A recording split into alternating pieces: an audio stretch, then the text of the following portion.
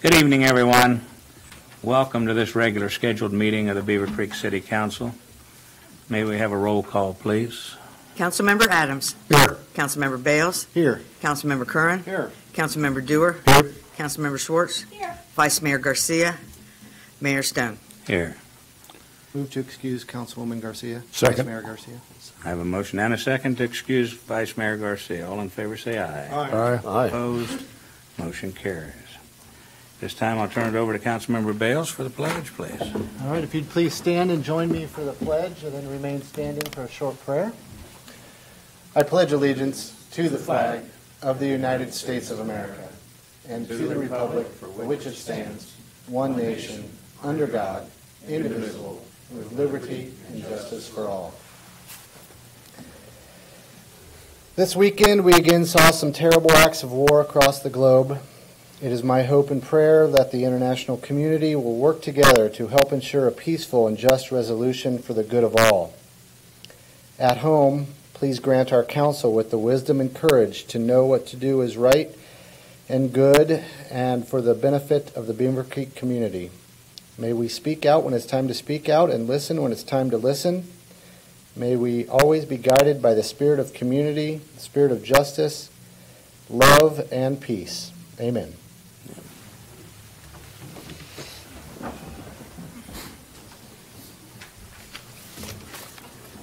All right, we have some uh, minutes to approve. First, the September 18th work session minutes. Any comments? Move to approve the September 18th work session minutes, Your Honor.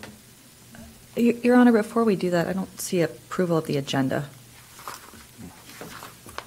You're right, it's not there, but we will insert it. How about we do that? Now, would you like to amend the agenda first? I would love to. Mayor, I'd like to move that we amend the agenda to add an approval of the agenda as item four. Thank you. Is there a second to that? Second. All in favor, say aye. Aye. Now, is there a motion to approve the agenda as amended? Move to approve the agenda as amended. Second. Yes. Uh, I have a motion and a second to approve the agenda as amended. All in favor, say aye. Aye. Opposed? Motion carries. Thank you. All right, now the minutes. How about the minutes for the September 18th work session? Any comments? I did have a motion to have, would you like to repeat it? Yes, Your Honor, I move to approve the uh, work session minutes of September the 18th. Second. Have a motion and a second to approve the September 18th work session minutes as submitted. All in favor, say aye. Aye. Aye. Opposed? Motion carries. Next are the minutes from the September 25th regular session meeting. Comments? Move to approve the September 25th meeting minutes. Second. I Have a motion and a second to approve the minutes for the September 25th as submitted. All in favor, say aye. Aye. Opposed? Motion carries. I'll abstain. Thank you, sir. One abstention. All right, pre-scheduled speaker.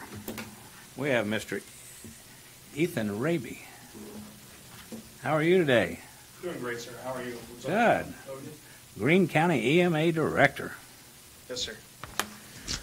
First, I'd just like to thank you all so much for having me. I really appreciate your time to let me to come here to introduce myself and talk about the program. And I just want to say it's a pleasure to meet all of you, Pete, Glenn, and Chief Fiorita. It's just a pleasure to see all of you as well. And so a little bit about me. So I'm Ethan Raby. I'm the director for the Greene County Emergency Management Agency. Um, a little bit about my work background. So I spent four years as the emergency operations officer for the Montgomery County Office of Emergency Management, and then came here to Greene County two years ago as the emergency operations manager, being promoted to director this past January.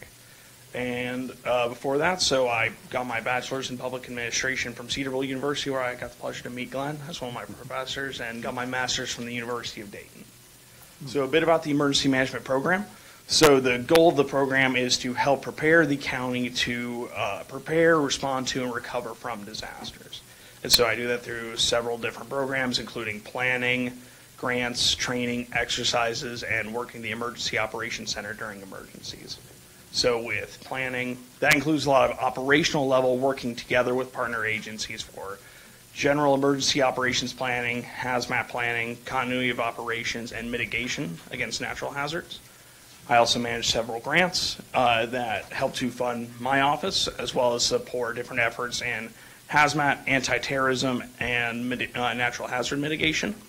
I also have to bring in different kinds of training into the county, uh, anywhere from incident command systems classes such as 300 and 400 that are some basic qualifications for police and fire if they're involved in uh, upper level incident command and management, to different skills based trainings such as damage assessment uh, post tornado. And so those are some trainings I've been bringing in as of late. I also do exercises to help us to uh, use these plans and uh, to use them uh, in a practical way. And so with these exercises, I do an annual hazmat extra- exercise that is ORC required for our local emergency planning committee. And so this year, we're actually doing one with Fairborn, which is going to be a chlorine release at the Miami Products and Chemical Company. And then next year, that'll go into a full-scale exercise. Otherwise, I'll also do exercises upon request by jurisdiction. Um, and finally, also work in the Emergency Operations Center. And so the Emergency Operations Center is a planning, resource management, and uh, information sharing uh, coordination point within the county. And the majority of my experience in the Emergency Operations Center is actually during my time at Montgomery County, in which I had responded to several incidents, including the 2019 Memorial, Memorial Day tornadoes on the Montgomery County side of things, the Oregon District mass shooting, uh, three water outages, and two civil disturbance events. And so that's a big overview of the emergency management program. I also want to give a little pitch for the uh, total solar eclipse coming up in April of next year. So if you have not heard about it as uh, so we're expecting a total solar eclipse in our area April 8th, 2024. It is going to be at 3 p.m. on a Monday.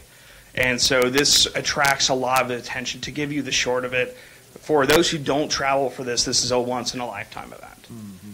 The last one in Ohio was, I believe, in 1867. The next one in the United States won't be until uh, 2044, and that's going to be in like the North Dakota area. Um, and the next one in Ohio won't be until 2444. These are incredibly rare events. It, it sparks a lot of tourism and a lot of travel from around the country and beyond. And so, because of that sudden influx of population, experts I've talked to are, are expecting that we could possibly double our uh, county population size. If you get an idea of the county geographically, everywhere from Cedarville and Yellow Springs up here, Xenia, Bellbrook, and westward, so in the entire suburban part of the county are in the path of totality. And so, with this influx of population, we're expecting severe traffic congestion as well as strain on local resources from as basic stuff as groceries and gas. And so I am simply encouraging jurisdictions to make plans for their cities and villages for the eclipse, for the uh, increase in traffic within. And so that is just my short on it. If you'd like the full presentation, please let me know. And um, that is all I have for you. Thank you so much for having me. Well, thank you for being here. Any questions? Welcome. Are there questions? Anyone have any? I have one real simple one, and that, uh, how do you communicate during an emergency? Are you using the sheriff, are you using central dispatch of some sort, or how- where and how? Uh, so specifically with communications, are you talking like with the public or with partner agencies? With the partner agencies. So several ways. If I have a EOC activation, I am going to be initially calling people to respond to the EOC, and then I'll be alerting police chiefs, fire chiefs, department heads that the emergency operations center is activated through email. Um, depending on the circumstances, I may also use HyperReach in terms of for mass notification as well. So I have several ways to get a hold of um, response partners. Okay. Thank you very much. Thank you so much for having me. Thank you. Thank you. We'll have you back the first of April. Yeah, right. All right. I ordered my glasses. Next, uh, we'd have another pre-scheduled speaker, which is our own Zach Wike. Good evening, Zach. Good evening, Mayor and members of City Council. I am Zach Wike. I'm the Assistant Superintendent in our Parks, Recreation, and Culture Division. Here tonight just to give you a brief recap of our Parks Maintenance uh, crew and what they did this summer. So first off, parks, what do we do? Uh, Our mission is to deliver recreational experiences that enhance quality of life. And this is something that we instill in our staff uh, and we drive home every day to make sure that the work they do day in and day out truly does make a difference in the community to enhance everyone's quality of life. Brief overview of our parks. We have 24 parks within our system that are comprised of 434 acres. We also maintain nine additional green spaces and bike hubs, bringing the total to 563 acres of maintained green space. Know, within our parks, we have 16 playgrounds at those 24 parks. We have three bike hubs, 34 different athletic fields and courts, four historical cabins, and one replica barn, two memorial parks, which are Veterans Memorial and the 9/11 Memorial, a seven-acre fishing lake, skate park, four shelters that are available for, to reserve, and then five flush restroom facilities. A little bit about what our staff does day in and day out. Uh, all of the, what you anticipate with mowing and trimming, uh, playground maintenance. We do have a certified playground safety inspector on our staff.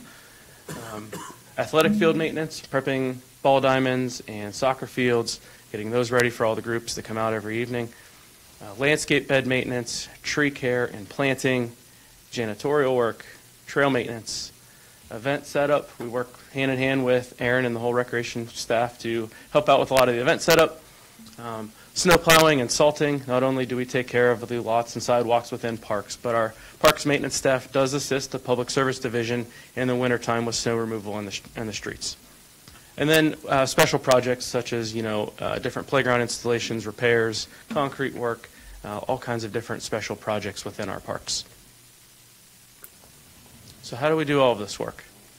Well, we have a huge staff here of five full-time parks maintenance staff members that maintain those 500-plus acres. And uh, the five full-time staff members are comprised of one section leader that oversees the day-to-day operations and four operators that are out there performing the work in the parks. And they are rock stars. They're, they're an awesome staff. Um, we couldn't ask for people who are more passionate to take care of the parks and the community.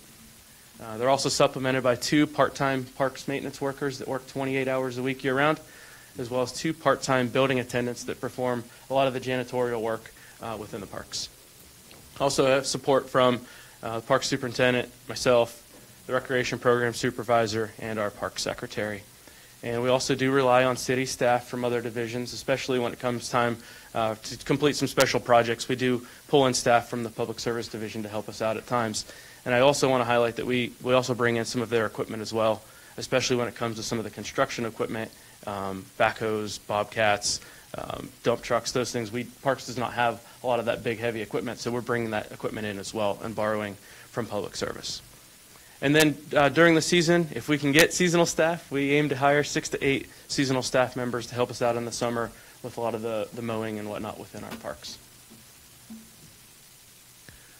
We also accomplish a lot of our work through the use of volunteers. Um, we have groups from different service clubs, local businesses, scouting groups, church groups that all reach out to us wanting to complete volunteer projects. In 2022, we had over 125 volunteers that volunteered more than 600 hours. And already this year, we have over 200 volunteers uh, with a little over 500 hours.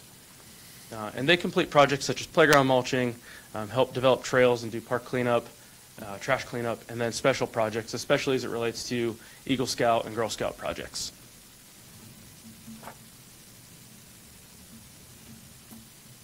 Uh, we also utilize contractors to help us out for where our staff and volunteers can't uh, complete all the work. They use contractors to fill in the gaps.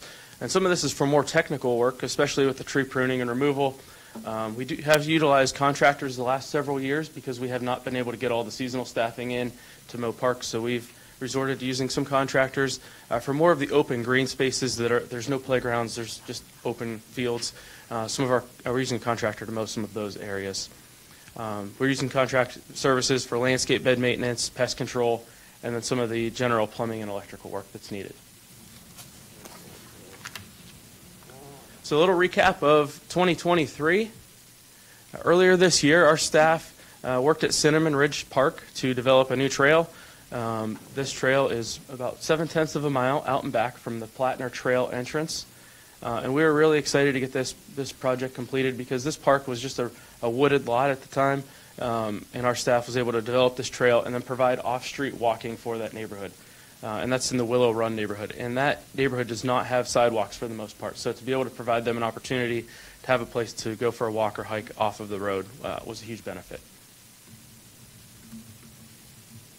At Merrick Park, we were able to complete several projects. The, the main one was replacing an aging bridge, so our staff did that one completely in-house. Um, we also made some ADA, uh, Americans with Disabilities Act upgrades, so providing uh, ADA accessible sidewalk access, um, access to the shelter, playground, and grill, and then made some stormwater improvements while we were there as well. We've done a lot of work the last, over the last year with playground mulch installation. Again, of our 16 playgrounds, there's a lot of maintenance and upkeep that's needed, and you can see here the list of parks that we've had uh, playground mulch installed just in the last year. Um, Volunteers have helped out with the majority of these, and each of these locations receive a whole semi-truck load or 100 yards of mulch, with the exception of Shout Park, which received three semi-truck loads of mulch. Um, And the volunteer groups we have, uh, they do a fantastic job. So if there are any groups looking to uh, complete a project similar to this, uh, 10 to 15 volunteers is ideal, and we will bring a staff member out that that brings a bobcat to help move the mulch from the big pile out into the playground, and the volunteers help smooth and spread that out. Um, So thank you to all the volunteers that have helped mulch our playgrounds, but we do have a need continuing on, uh, moving forward. So if anyone is interested, please reach out to our office for that.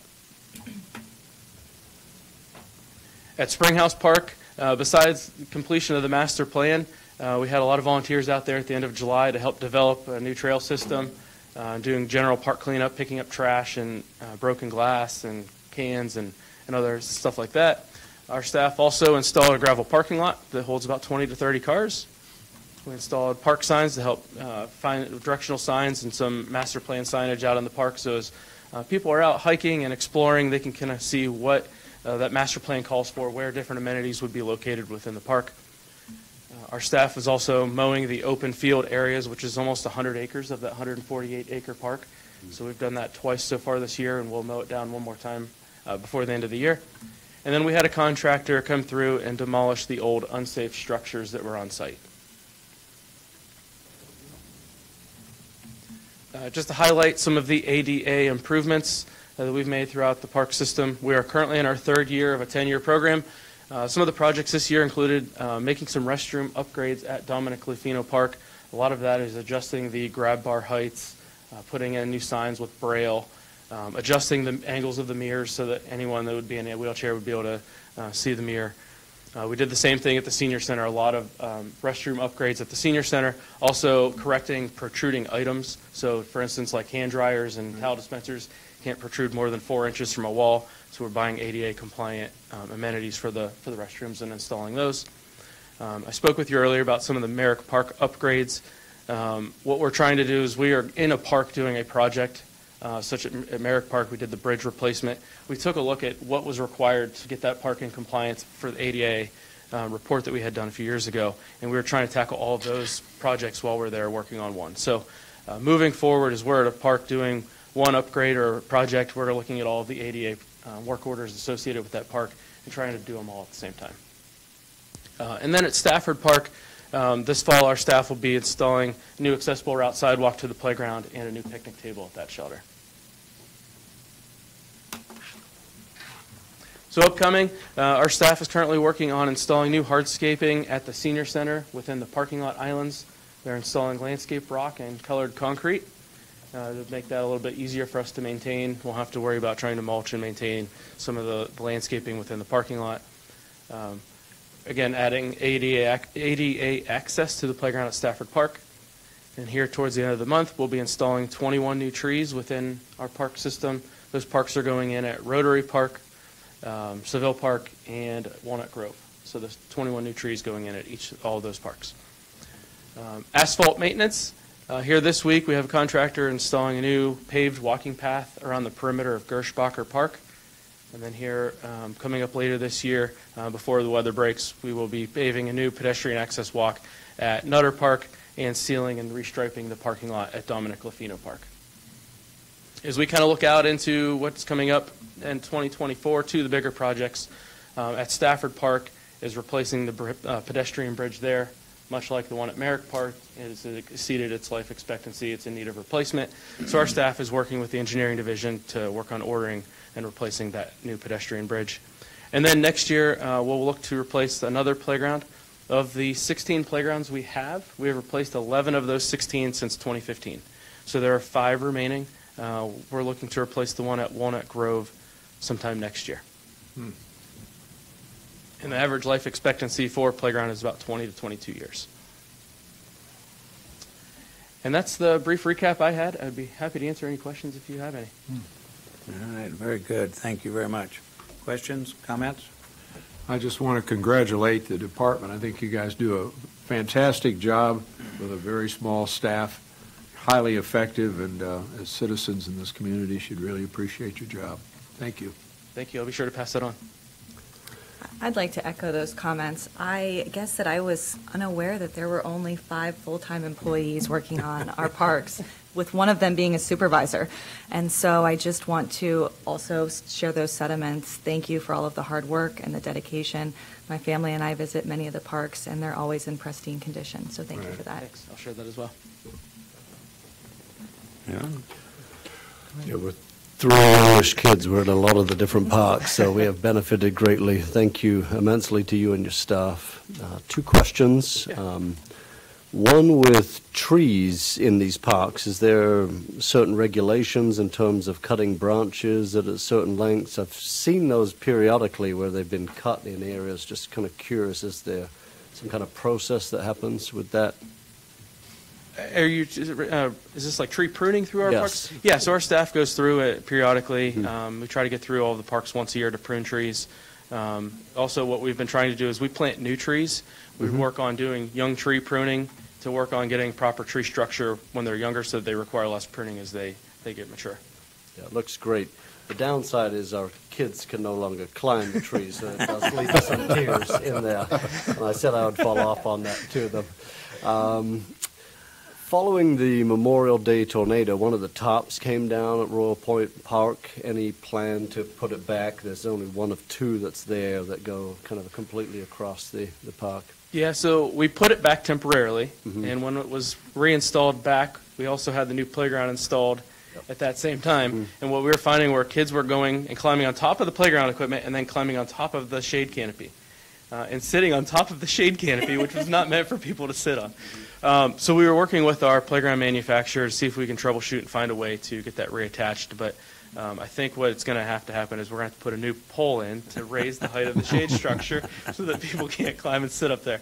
So we had to take it down because it became a safety issue. The last thing I wanted was somebody to, to break that and fall through and get hurt.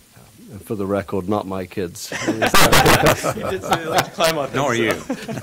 That's a good point, Mayor. That's a good. But thank you so much for you and your staff. Appreciate it. Thanks. Zach, to uh, add on to Councilmember Curran and and Schwartz's comments, I also want to thank you and your team for doing the amazing job that you do. And on top of uh, all that you do, you also maintain like the- all the softball diamonds during the summer, all the soccer fields get lined, and on top of it, have to keep up with the mowing and everything else. So it is, it is quite amazing um, the amount of work that gets done with the limited staff that you've got. So thank you. Thank you. You definitely have some rock stars out there. There's no question they're out there working all the time. And the fact that you get all the volunteers that you do is another feather in your cap. I mean, just because I think people realize that our park system is, is, is a good park system. They want to do what they can to help you keep it that way. And Yeah. we really appreciate all the work you guys do. Thank you. And it's my hope that uh, somewhere down the road that we can uh, increase your staffing a little bit, so that. uh, uh, I think they would be All the relieved. best. Uh, They, they work hard, so thank you very much. Thank you for all the nice comments. I'll be sure to share that with our staff tomorrow. All right. Thanks. Thank you. Have a great evening. All right, next. Ordinances, resolutions, and PUDs. First is ordinance twenty-three twenty-three. Ordinance 23-23, an ordinance to declare certain city-owned property interests as surplus and to approve the conveyance of a monument sign easement on city-owned property, generally known as 15-acre Grange Hall Road property at the southwest corner of Research Boulevard and Grange Hall Road. Thank you. All right, this is the second reading of this ordinance. Is, are there any changes? Any additions? All right. I'm not sure who sponsored this. I made the motion. All right, would you like to Sure. follow? Motion to approve ordinance 23-23. Second. I have a motion and a second to approve ordinance 23-23. All in favor, say aye. Aye. Opposed? Motion carries. Next is ordinance 23-24.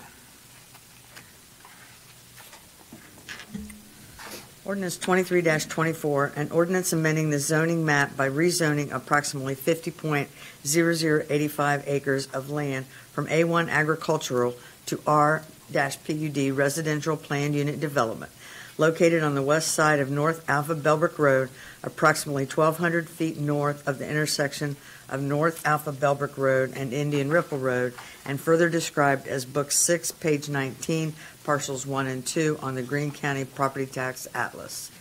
Thank you. Were there, uh, this again is the second reading of this ordinance. Are there, and, and there was a lot of discussion at the public hearing. Are there any changes at this point that uh, need to be addressed? Okay. And most of the comments and the discussion the last time was focused around site plan. And uh, we'll address those issues then. All right, um, again, I don't know who sponsored this. I have a, uh, before we go into Okay, that, that phase, I was not at the last meeting, all right. but I got an opportunity to uh, rewatch the meeting and uh, kind of digest the, um, um, all of the conversation. And so I guess um, I would just maybe have a, a question for Randy um, about the easement and express maybe my preference and for a woodland easement, even though it's more challenging to manage. I think that there's language that can be written. In fact, it was in your staff memo about um, a woodland management plan that could be written to kind of mitigate some of the ongoing issues such as invasive species. Because as much as I want to preserve the woods, I don't want it to be overrun with honeysuckle at the same time. Um, And with that 16-foot horse trail, it really only leaves about nine feet of wooded area, Correct. um, if it's 16 the whole way down Right, so I'm sure. Um, yeah, I'm sure it does, but probably in general. My point is, it's not much forest anyway, and so um, to have it protected, um, I think would, would be a benefit to certainly the neighbors in um, Terra that back up to it. Um, But if we put a plan together, like you referenced in your staff memo, to manage it wisely, it might be um, doable um, without giving so much discretion to the new property owners. Sure. Yeah, I mean, that is certainly something, and I'd be more comfortable like addressing that at the site plan stage where this is just the general idea of having a easement and then we can add to it by um, motion when it gets to the second phase. Um, If there's additional, like, call it a, a um, green space easement and then only invasive weeds and other undesirable uh, stuff be trimmed and everything else be left alone. I mean, you can do that. I just, again, I would prefer that it stay at the uh, um, homeowners association maintain that rather than the city. Um, But, of course, that's up to council's discretion on who maintains that. But it's, um, it- it's a challenge for us, especially if we start that precedent in every neighborhood and have something like that, because, I mean, they're all, it's going to be wanted everywhere. Um, We just have more and more of these areas to maintain without the staff to be able to do that properly. Understood, understood. As, as someone who has a brand-new housing development going in right next to my house, uh, that 25-foot buffer uh, was uh, extremely important to me and my neighbors. Um, And so I feel for those folks um, in the adjacent neighborhood. And um, I just feel like the green space easement puts the onus on the new HOA and the new housing development, but doesn't really protect the Terra neighbors. Um, So my preference, for what it's worth, would be for the um, woodland easement. Um, and I didn't know if that was something we needed to address at zoning or in site plan. I, because it's in the, in your staff report, I, s- I suspect it's at the zoning phase.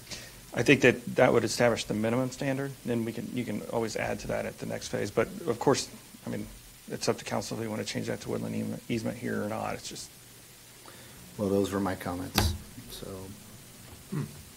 And again, there, I think the goal was to, was simply around staffing and the responsibility of the city of being the one to go out and decide every single tree that needs to, wants, that needs to be cut. Right. And if it dies, then the city going out and, you know, having to take it down. And we were trying to, I think the idea from staff standpoint was simply not to be the babysitter, so to speak. Uh, But again, that's uh, all up, we have it in our, in our rules and regulations, we can do them if we want. Yeah. Well, I, again, I, and I was just thinking if we could put together a proper management plan up front, that could be generally standardized. Um, and if it did call for the new property owner to hire an arborist and submit a form, um, without too much work, and I mean, I'm not trying to put more work on your shoulders, you understand, but I just want to make sure that, that those woods are protected, um, from the current residents' perspective, um, not looking at it from the new HOA perspective. Pete, you know a lot, uh, quite a bit more about some of the, the parks and- as it relates to parks when it comes to woods, but, all right, so, so let's say uh, the homeowner does cut a tree. Now, who's the judge? Is, is it, does it rely, I'm, I'm gonna ask staff too, does it, is it now the city's responsibility Yeah, it's do something question. about that? I- Okay, I- so that, there's, uh, that's my issue with it, as to who, who's gonna be the judge and jury? And that's where I think the homeowners association is the one that needs to do that. And I don't disagree with that. I mean, I don't know how practical or feasible it is at all for the city to be involved in homeowner versus homeowner disputes regarding if a tree was cut or not.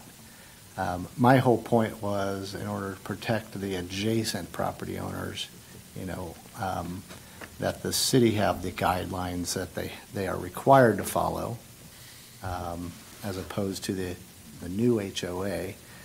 But either way, Mayor, I think you guidelines have, be put into a, to the covenants of the, I, I believe they could. It's a forest management plan that's referred to. yeah, I mean, if it's, uh, if it's something that's part of the covenants now, to where it is the, pro- the home HOA's enforcement, I, I think that's a great idea, if you can define it better. Right. yeah, and that would take the, the the penalty phase, or or however you want to put that, uh, at the uh, court system rather than on the city, because if it's a private covenant and restriction, then the courts, you know, resolve those disputes rather than city council and planning department and the BZA and the like, so. Yeah, that, that'd be ideal. I, I'm in, I am in support of that. I guess the question that I have before we press forward with this is in the current ordinance that we have before us, item number nine specifically calls out a green space easement. So if this is something that we want to address and we would like to address it at the specific site plan phase, do we need to remove that? No, I would not remove it at this point. Um, I, I think leaving it as a 25-foot conservation easement, change to a grading limit and green space easement will give us flexibility. I think the concern is that, uh, I think it's on page four of uh, Mr. Burkett's report, I think the, the problem with, and and this may be somewhat the problem with our regulation, but if you look at woodlands easement, the problem with that is that if you want to cut a tree down, basically, it's, the city has to approve it with the property owner, and I think as a process, I understand what council's seeking, and, and Mr. Councilmember Bales, I understand what you're saying, but, but I think unfortunately our woodlands easement definition is um, rather restrictive and probably for most homeowners would not really uh, understand that they're not going to do much back there without getting city permission. And so then, then we'll be, you know, if somebody cuts something, then do we have a, has someone damaged something? Do we have a suit between the city and the homeowner? And, and it just gets, it could get rather messy quickly. So I think probably calling it green space, the green space gives us a lot of flexibility. So I think council will have to have further discussion as to what it entails. But it can be, dis- it can be defined at site plan, is that correct? Correct. Mm-hmm. Yeah, because it, Thank I you. mean, clearly the ordinance does, yeah, and, so- sorry, long answer to a short, your question, but yes, in the, under the terms of it, it, Sure. you will find it, define it at some point. Okay. Thank you. All right, so as long as we can further define it and further enact some regulations that control it, then I have no other questions. Okay. Any other input? Councilmember Kern, I think you were the sponsor on this one. Thank you, Your Honor. Ordinance uh, 2324, Bridal Wood rezoning. Uh, Motion to approve this ordinance. Do I hear a second? Second. I have a motion and a second to approve ordinance twenty-three twenty-four. All in favor, say aye. Aye. Opposed? Motion carries. Next is ordinance twenty-three twenty-five.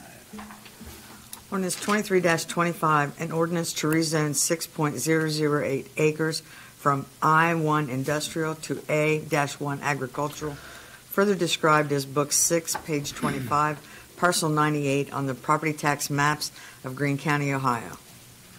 Thank you. Uh, Again, this is uh, the second reading. Is there any, are there any changes? Pretty straightforward uh, application. Any questions? Do I hear a motion? This was, uh, Councilmember Schwartz actually sponsored this. Move to approve ordinance 23-25. Second. I have a motion and a second to approve ordinance twenty-three twenty-five. All in favor, say aye. Aye. Opposed? Motion carries. Thanks. Next is ordinance 23-26. Ordinance 23-26 to approve supplemental appropriations and certify additional revenue for fiscal year beginning January first, twenty twenty-three and ending December thirty-first, twenty twenty-three, and to amend ordinances twenty-three 21 23-18, 23-11, 23 6 and twenty-two thirty-two. Very good. Good evening, uh, Mayor and uh, members of uh, City Council. This is just a uh, another uh, financial update uh, for our appropriations and certification that we passed last year. And anytime we get something fairly large or unusual, we have to bring that before you to certify it or appropriate it. We talked last month about, we had a couple of totaled police vehicles uh, the we filed that with our insurance company. They ended up sending us money back. Uh, it came in at the depreciated value. Uh, I went back and realized that uh, our policy actually calls for uh, the uh, actual purchase price to be reimbursed. And so, being a good fiscal officer, I accepted their original check with the provision that there might be more coming. And there was and uh, both vehicles picked up another $7,600 from the insurance uh, reimbursement. So uh, we needed to certify that, and again, that just will go to offset the uh, purchase of the other vehicles that we got uh, to replace those, and uh, that'll, that'll go to offset those. So we need to certify the additional revenue and then appropriate the funds for those replacement vehicles. So that'll take some of that burden off of us for uh, that replacement. The other thing is that uh, we just received, again, uh, amazingly enough, a, another reimbursement from uh, FEMA for the 2019 tornado.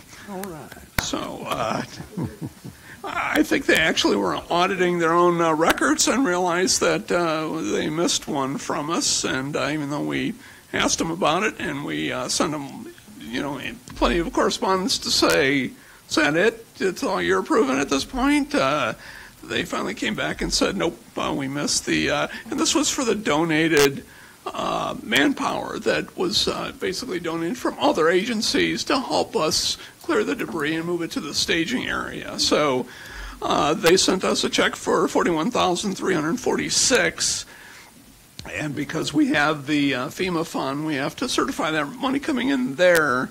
But we've been giving the money back to the department that was affected by those expenditures. So what we need to do is transfer the funds then from 250, the FEMA fund, to uh, 203 to uh, uh, sort of reimburse them for some of those costs associated with that. So uh, you're seeing the uh, uh, certification of the 250 coming in, appropriation for it to go out of 250, and then entering in 203 to uh, put it in their funds.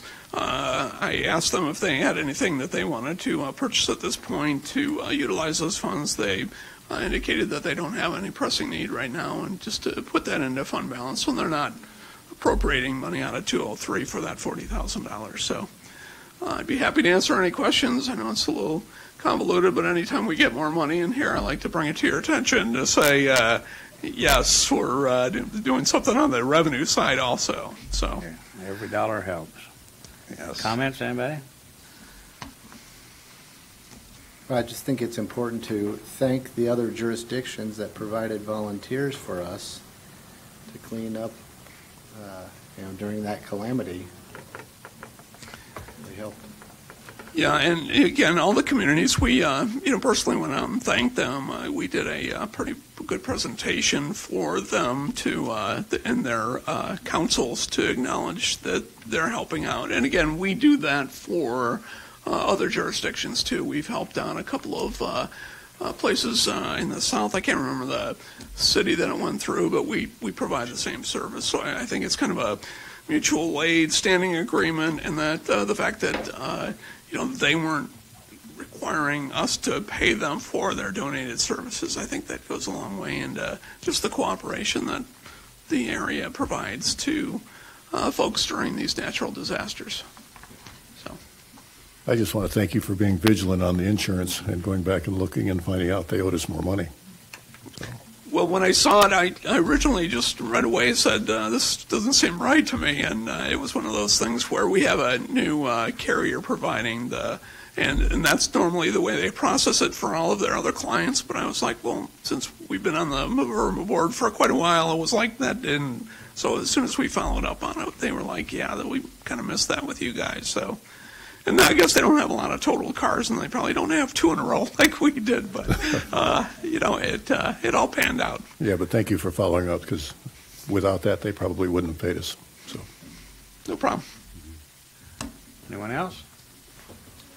All right. Do we have a motion? Move to approve ordinance 23-26. Second.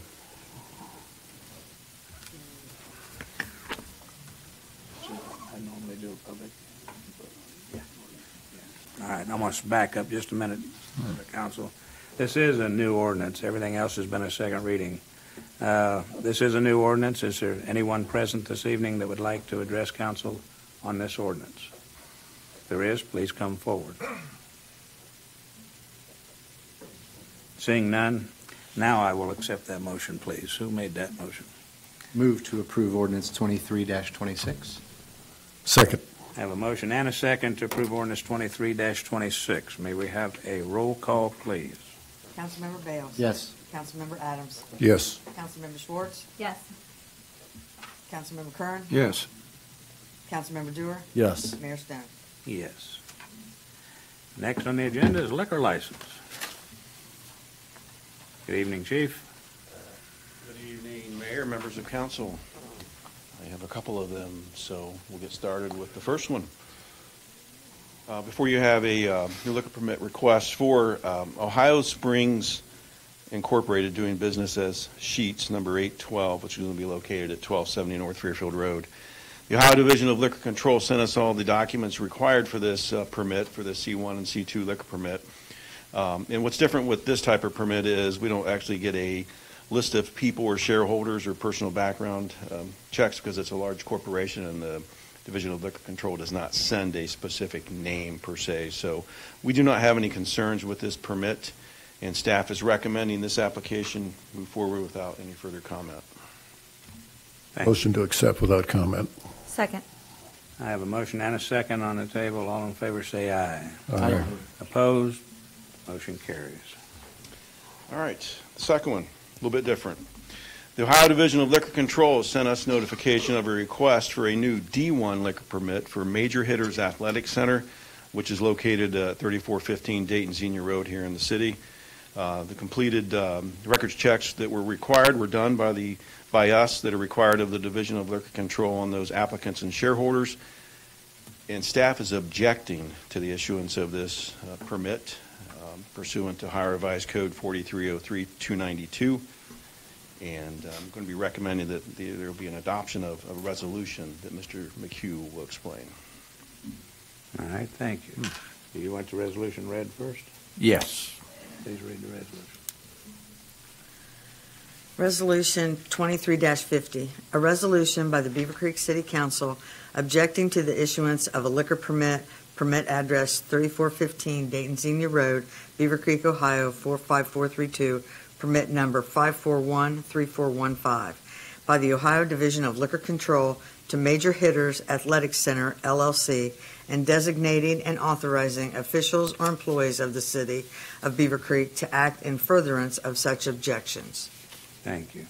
Mr. McHugh? Uh, Yes, Mayor and Council, procedurally, uh, by statute, uh, in order to, when we see something that we, that uh, the chief feels uh, might be grounds for an objection, um, it requires council action.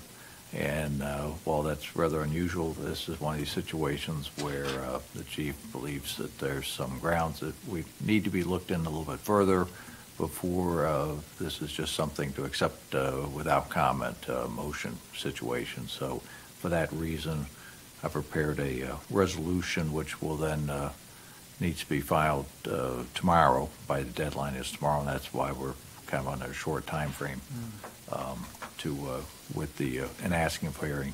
And it'll, it'll be held, uh, it, it takes normally several months before you'll get notice, but it'll be in Xenia eventually. It requested be in Xenia. You could either go Franklin County or request the county, so we requested Xenia. That's traditionally what I do. Questions? And I, I, if I may, Mayor, I will just say, uh, uh, Chief is being uh, uh, very cordial, of course, but uh, this is, you know, his recommendation based on uh, information he cannot share uh, publicly. It's confidential information. Let's just put it to you that way. Uh, active case, different stuff that he just can't share. So, uh, but you know, I've heard the recommendation and the reasons behind and concur uh, with the chief. Not that you need my concurrence with it, but uh, uh, again, it's just something we can't share. Okay. Do I have a motion? Motion to approve Resolution 23-50. Second. I have a motion and a second to approve Resolution 23-50. All in favor, say aye. Aye. Aye. Aye. Opposed? Motion carries. Thank you. Thanks, Chief. Next on the agenda is discussion item, and we have uh, uh, the Patels here that are going to discuss the clean air quality application. Gentlemen, please come forward, and the floor is yours. Good evening. Good evening, Mr. Mayor and council members. Uh, my name is Josh Patel, and we have AJ Patel here from Scarlet and Gray Hospitality. Um, is there a way I can get a presentation up on the screen, or I can do paper copy too? We can go go a little old school. I, I've got it on a thumb drive. If we could get it up, okay.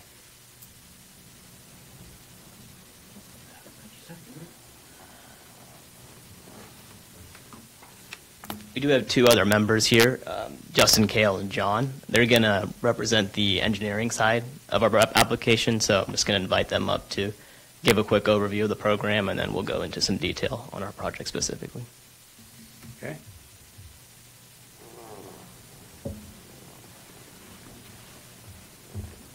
Good evening. Good evening. Uh, My name is John Kirschner. I have uh, GB Solutions. We've been representing the Patels with the Air Quality Development Authority.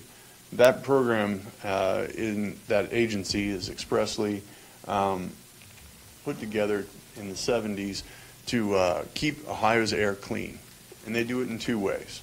One is direct pollution, um, either scrubbing or making sure that those don't get into the air. And two is with energy efficiency so that power plants uh, that provide the grid uh, with power have to provide, don't have to provide as much. Um, and as such, air quality and the Ohio uh, grid that we're in is in one of the um, less efficient grids in the nation as they mostly use coal. So this uh, program uh, over the years has focused in on those uh, type of applications in order to uh, clean the air. In recent years, the program has become significantly more stringent and guidelines in order to make sure that developers and people aren't taking advantage of it in a way that doesn't allow them to put their money where their mouth is. Um, this particular project is one of the most um, clear-cut examples of how you would put together an energy efficient building and exceed the even more stringent um, guidelines that air quality has put together. And I'll turn it over to Justin to explain a little bit more of the energy efficiency. Thanks, Mayor. Good evening. Members of council. Um, So on the, on the engineering side, we're, uh, my company Energilities is an energy engineering firm, and we're working with the Patels and Scarlet and Gray on the energy analysis, and as we've done that analysis, um, we've found their building to be well beyond 50% better than the energy code.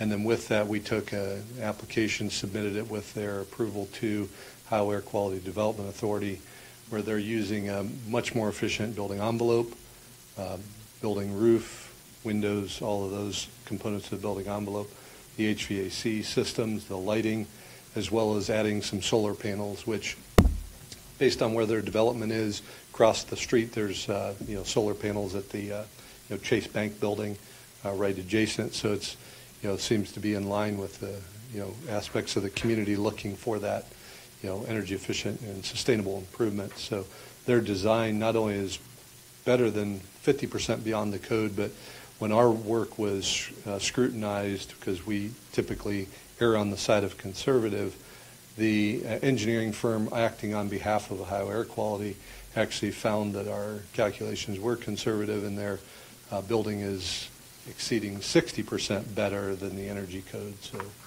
uh, we would expect once complete and operational, not only the financial benefits that the Patels are going to talk to you about, but from an uh, environmental impact, that it's going to be one of the most efficient hotels in Ohio, let alone, uh, you know, the greater Midwest area. So turn it over to Josh and AJ to talk about some of the salient details. Great. Thanks, Justin. So I'll just walk through what's up on the chart here to give um, specific details relative to the, the Marriott Hotel we're putting up. So uh, just that first bullet point there is obviously with the hotel, um, majority of our guests come from out of town, um, and there's more details that we've been provi- we can provide if needed, but there is a significant economic impact there of almost 32 million.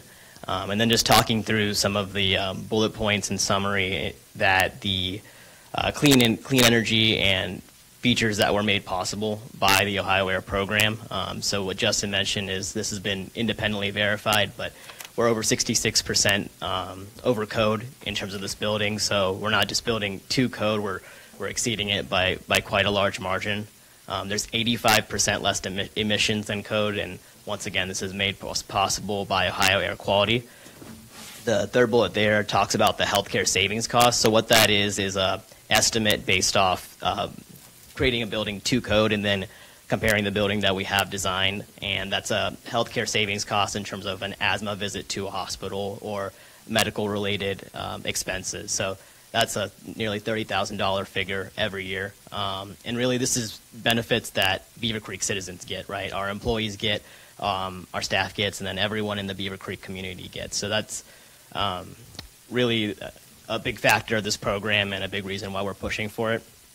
Um, to go on to the next one with the other benefits, so the property tax incentive is part of the Ohio Air program. Um, however, we still will be paying nearly $50,000 a year um, because it's not a complete reduction in property tax, it's a partial reduction.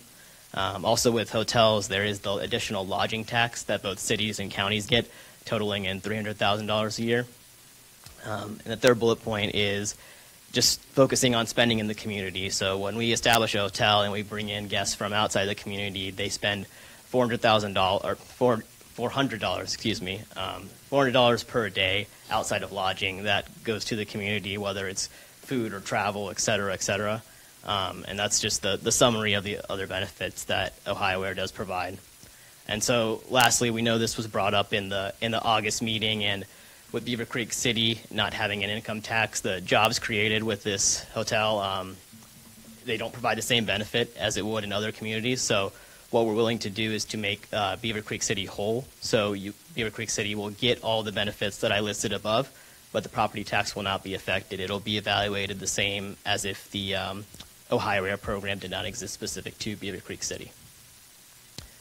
So, so that's it right there. Is just a, a summary of our position, and, and thank you for giving us the chance to speak. Um, we just wanted to give the full story about how we got here um, and and the whole um, pitch that Ohio Air has.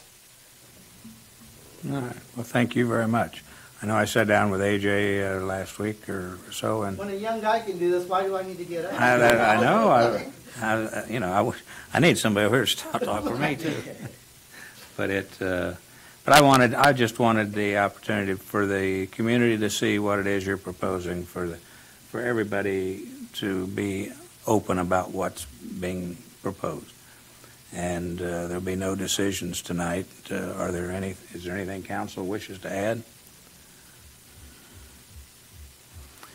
Okay. I mean, some of us up here kind of understood some of it already, and, uh, but uh, we wanted, this is taped, so anybody can see it, and it's actually live. Uh, So we wanted the community to be able to see it as well. So we will be talking with you here in the next week or so. All right? Thank you. Thank you very much. All right, council time. I don't know, Councilmember Schwartz, have you kicked it off recently? Would you like to start? I would love to start, Mayor. Thank you. Um, the past, last week, I think last Monday, um, I was able to attend a candlelight vigil that was hosted by Violence Free Futures over at the Green, as well as a lot of my fellow council members and mayor. Um, and during that vigil, um, we had the opportunity to hear from two survivors of domestic violence. And their stories were extraordinarily powerful um, and gut wrenching and tear jerking, to say the very least. And so I just want to remind our community members, and each of us that was there took a pledge that we would ensure that we, if we see something, we say something. If we see someone who needs help, we try to get them the help that they need. Um, for those who weren't there or who didn't get to hear, Violence Free Futures is also featuring survivors' stories every day on their Facebook page. So I would encourage you to go and read some of those stories because they're very powerful, and you can see that domestic violence isn't something that's happening outside of Greene County, it's happening inside of Greene County. And I think it's significantly important that we recognize that. So I would encourage all of you to at least visit the Violence Free Futures page and read a few of those survivor stories if you didn't get the opportunity. And I want to thank Violence Free Futures for keeping this initiative live and well and encourage our community members to attend next year if you get the chance because it's just something that is so, so powerful.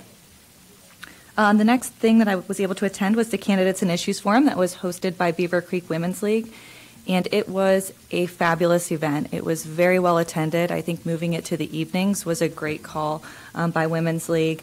There were a lot of candidates, a lot of issues, and it is actually recorded. So if you weren't un- if you were unable to attend, I would encourage you to watch. Um, lots of great questions, just very very informational for the voting that's coming up in November. And this weekend, I was able to take my son to the Touch a Truck event hosted by the city as well as the Beavercreek Township Fire Department. And it was such a great event. We enjoyed it. Judson came home with a yellow hard hat, and so he was very happy about that, um, and a Hot Wheels car. So it was a great event. And so I just want to say, thank um, the city and thank the fire department for all of the hard work that they put in for that event. And last but certainly not least, I get the honor of doing employee anniversaries. So for October, we have Carol Weimer with the Senior Center, one year of service. We have Judy Lemke with the Senior Center, 10 years of service. Our very own Randy Burkett with Planning and Development, 17 years. Dylan, San- Dylan Sanington with Police, three years. David Ashworth, Police, four years. Nate Sparks, Public Service, 11 years. Libby Chapman, Police, 25 years. And Chrissy Fedko with the Senior Center, 18 years. So congratulations and thank you very much for your service to this community. You are very well appreciated. Thanks, Mayor. Thank you. Councilmember Kern. Thank you very much, um, Mayor. Had the pleasure to attend the Citizens Academy. It's our first one, and I want to give special attention to uh, Councilmember Bales for pioneering this, and uh, hope and expectation that we'll have many, many more. So it's uh, really, it was really significant to be there and hear the comments. Secondly, I also attended the uh, family violence function at uh, Greene and heard the stirring stories of the people uh, that were presented on the platform. I was part of the Candidates Day, obviously was part of that, and uh, I want to thank the Beavercreek Women's League for a big, cr- big crowd, a nice turnout of people, uh, good questions. It was a great evening. Attended the Associated Contractors. It was the realtors, home builders, and the contractors put on a, uh, a function downtown at the Dayton Board of Realtors to uh, inform uh, local elected officials about their uh, mission and responsibilities. I also attended the health fair uh, over at the Senior Citizen Center this uh, Saturday from uh, 10 to 12, and uh, you could actually get all three shots there. Wow. Yeah, you could get the flu, COVID, and I can't remember what the name of the third one. What's it called? RSV. Yeah, RSV. yeah, you get all three shots. That was super. Nice turnout. Tended to Touch a Truck, and that was fun. And uh, also uh, was part of the Rotary program for, we had uh, cyclists, uh, different, uh, uh, different amounts, 60 60 miles, 100 miles. There was a big turnout. We were stationed out at the Coy Middle School and uh, passed out water and, and other things to, uh, to the cyclists going through. So it was, it was a great week. Thank you. Thank you. Councilmember Bales. Oh, thank you. You know, as a board member of the Violence Free Futures organization, I couldn't have said it better than Councilwoman Schwartz. Last uh, Monday's uh, candlelight vigil was touching and tear-jerking and impactful, and, uh, and I would urge everyone to um, just reach out and get some information um, from them. So thank you for bringing that up. Uh, I want to appreciate um, council for excusing me from the last council meeting. Not only was it my anniversary, but it was also my son's senior night in uh, golf. It was his last golf event for Beavercreek High School. And I'm happy to say that uh, both the girls' uh, golf team and the boys' golf team have made it out of sectionals and are competing in districts this week. So I wanted to uh, give them some luck on air, uh, and if they can uh, move out of districts and they go to states. So we'll keep our, uh, our fingers crossed for them. Uh, I too want to congratulate the recent graduates from the Citizens Academy.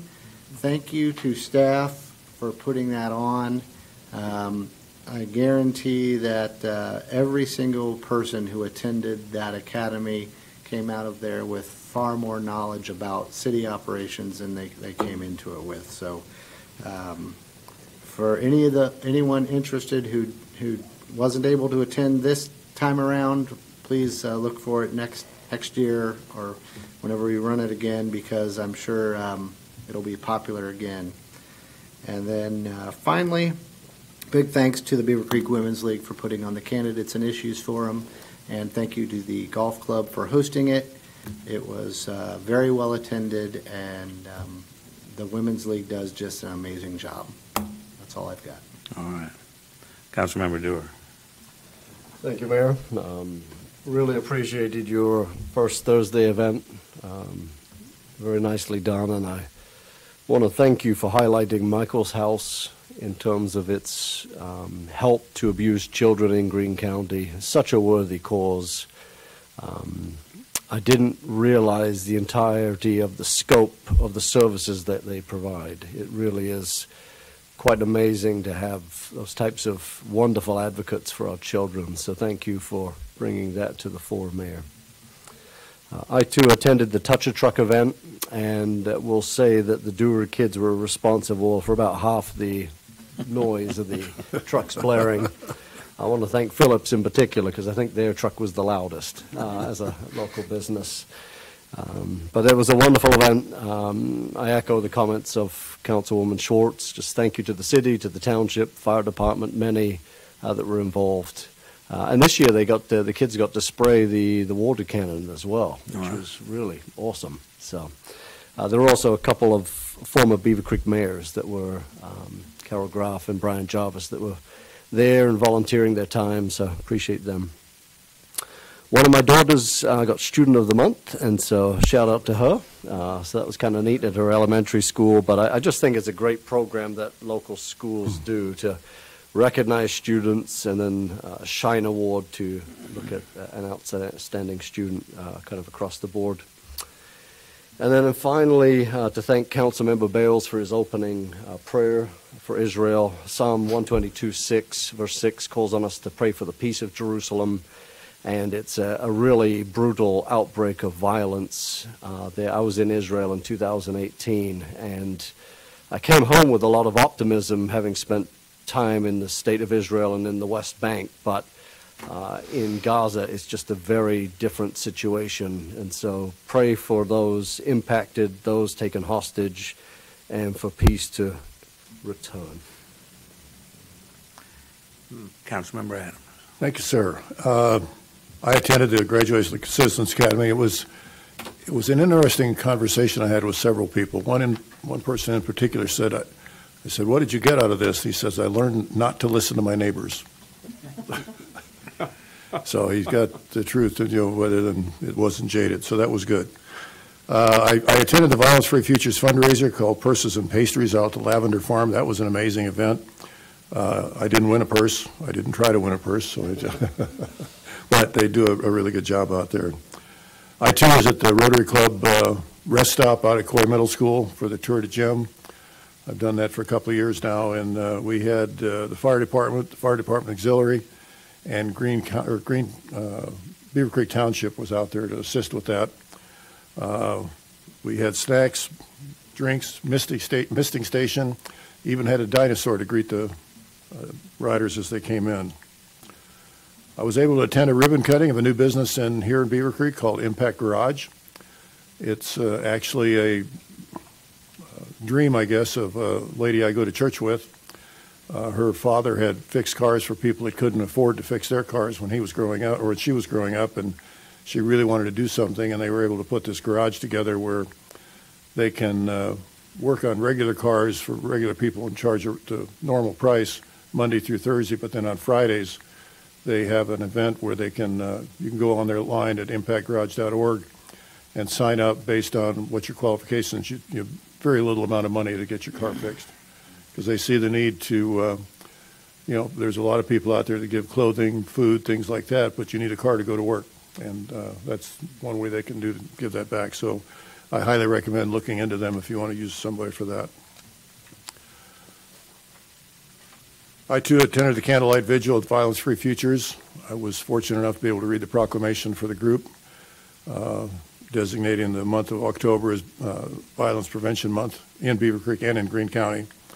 Uh, And I too serve on the board of uh, Violence Free Futures, and uh, it's one of those things that you really wish you didn't have to have, but you're really glad you have, because the the women, actually, uh, women, men, and animals now, they, they take care of all of them. It's, uh, it's an amazing place out there.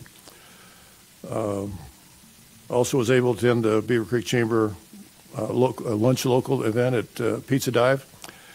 That's an event that's every uh, first Tuesday of every month, and they highlight a different restaurant here in Beavercreek, and everybody goes out to try to support them.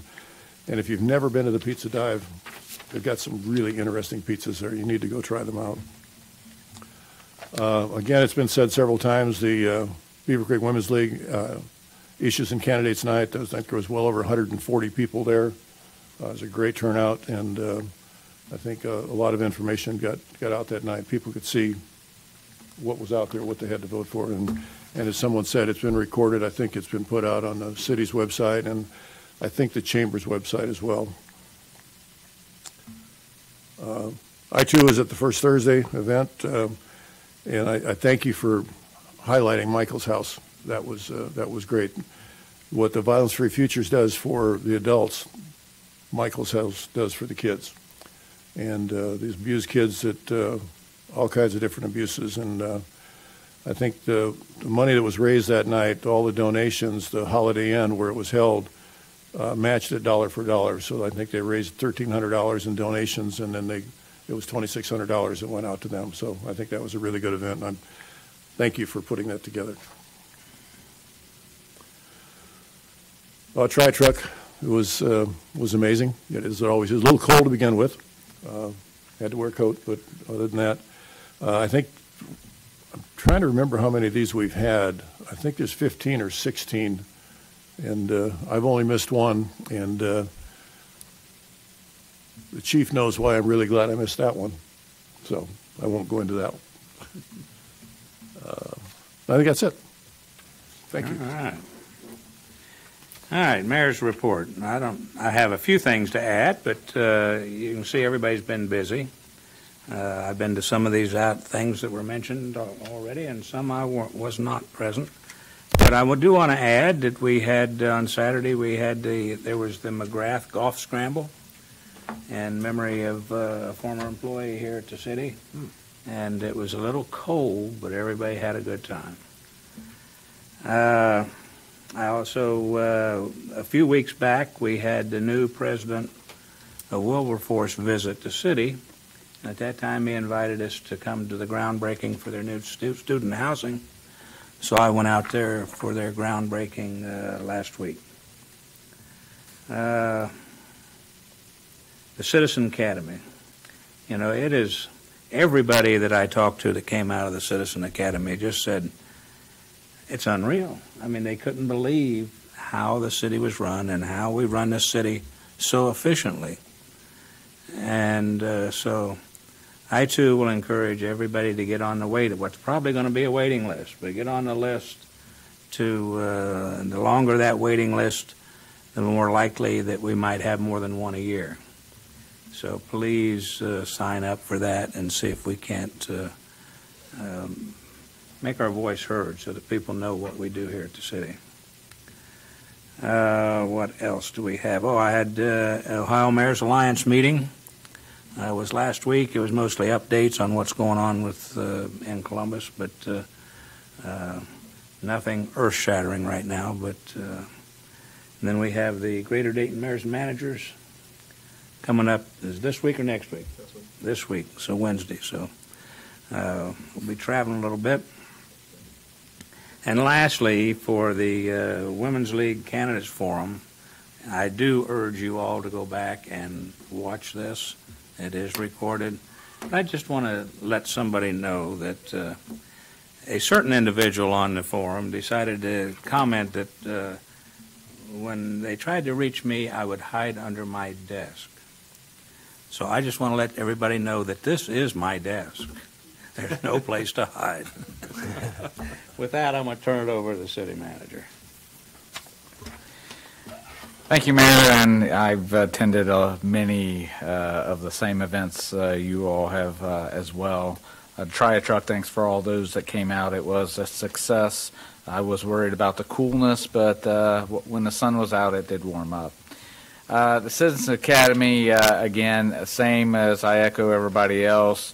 They learned a lot of stuff, a lot of information. It's a wonder that we didn't literally see their heads explode with the amount of information over the six weeks that was presented to them. Um, got to know all of them as uh, Katie and myself attended all of them, and I was kind of the MC a lot of it, uh, opening and ending each one, and of course I presented a couple times myself.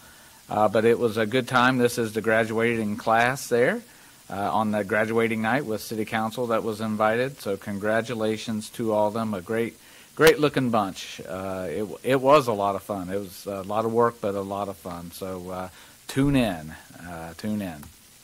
Uh, trick or treat Tuesday, October 31st, six to eight. Trick or treat Tuesday, October 31st, six to eight. Trick or treat Tuesday, October 31st, six to eight.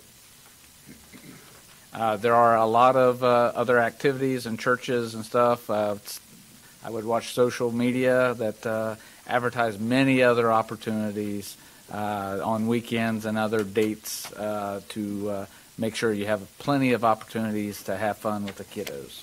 So when is trick or treat? Uh, Tuesday, October 31st, 6 to 8. Rain, sleet, shine. Uh, and just uh, as a informational piece, the park levy can be found as you know, as you well know, City Council passed Resolution 2341 placing the park levy on the ballot. And so, uh, for factual information on the city, visit the city's website, beavercreekohio.gov.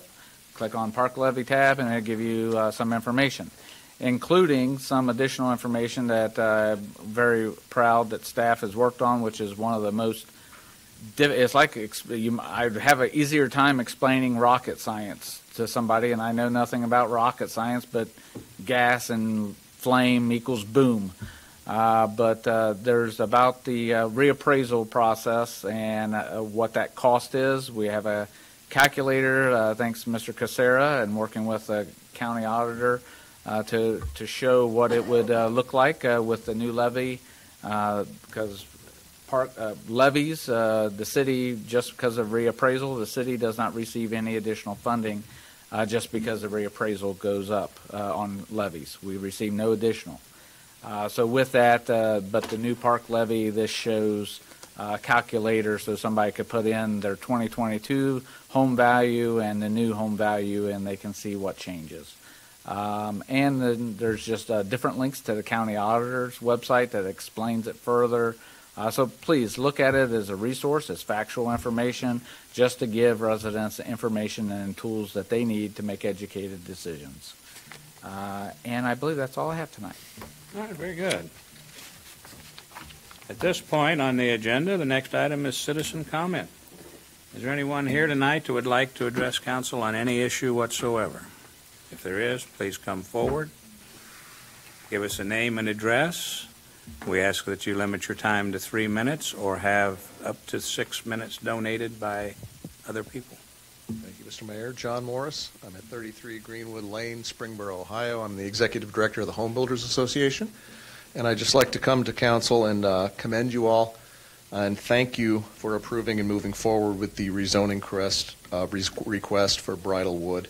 Uh, and it, just by happenstance, that's on. I was going to come regardless of whether you're actually looking into rezoning. But uh, back in June, uh, we issued a press release and shared that with each member of council and the mayor.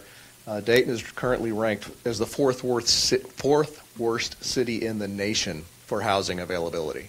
Uh, so it's imperative that council, uh, cities like Beavercreek, find ways to work with our developers. You have an outstanding developer in Ober uh, Economic Development Group, and uh, you have an outstanding economic and planning department here. So Mr. Burkett was nice enough to come and present uh, what the city of Beavercreek's been doing to a uh, regional builder and developers forum. So uh, and thank to Councilmember Curran for coming to the event that we hosted for local candidates. Um, essentially, the Home Builders Association, the Associated Builders and Contractors, the Dayton Region Manufacturers Association, the Board of Realtors are all regionally based and uh, available to each of you when you face issues. Because frequently, uh, when you get a zoning request coming forward, there's a lot of what ifs. Well, what if traffic does this? Or what if a resident happens to cut down a tree 20 years from now? And those kind of things tend to stall and prevent developments from happening. And we just want to make sure that you're aware that all these associations exist to help provide you with the fact-based resources you need to make good, strong decisions. Um, because we are facing a housing shortage nationally, and we're facing a housing shortage in this region. So again, just wanted to bring forward, and thanks to council, the mayor, your uh, wonderful development department for working with the developers on reasonable requests. Thank you so much. Thank you. Leave extra copies of my release. All right. Anyone else like to address council? Please come on up. Please give us a name and address. Hi, Do you think you're going to need more than three minutes? I try to make it short. I took notes. Okay. Okay, Denise Hurley, 3021 Southfield Drive. I back up the part at Tara.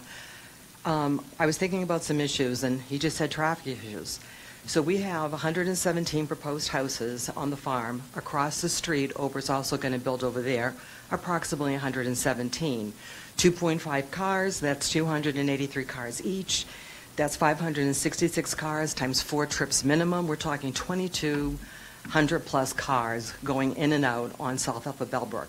And that's before we get the high school built. Think of all the cars are going to be on that corner. So that's the first thing I wanted to point out. Um, Overstated he wanted a conservation easement. I appreciate you looking into that. We don't have a definition in Beavercreek. I think woodlands is appropriate. The one thing that I mentioned at the first meeting with Randy's group that it didn't go anywhere, why don't we deed those 25 feet to the homeowners in Tara, and we'll be responsible. Tara Lake, those people were deeded the land up to the lake beyond their backyards, and also in Tara West, um, off a Plantation in the back, those people were deeded the land. They mow it, they take care of it, we could do the same thing. That would take it off the table. Because if the homeowners association gets it, they could vote in the future to clear that whole thing out and put a park in there, and we don't want that. We want the buffer, we want to be protected.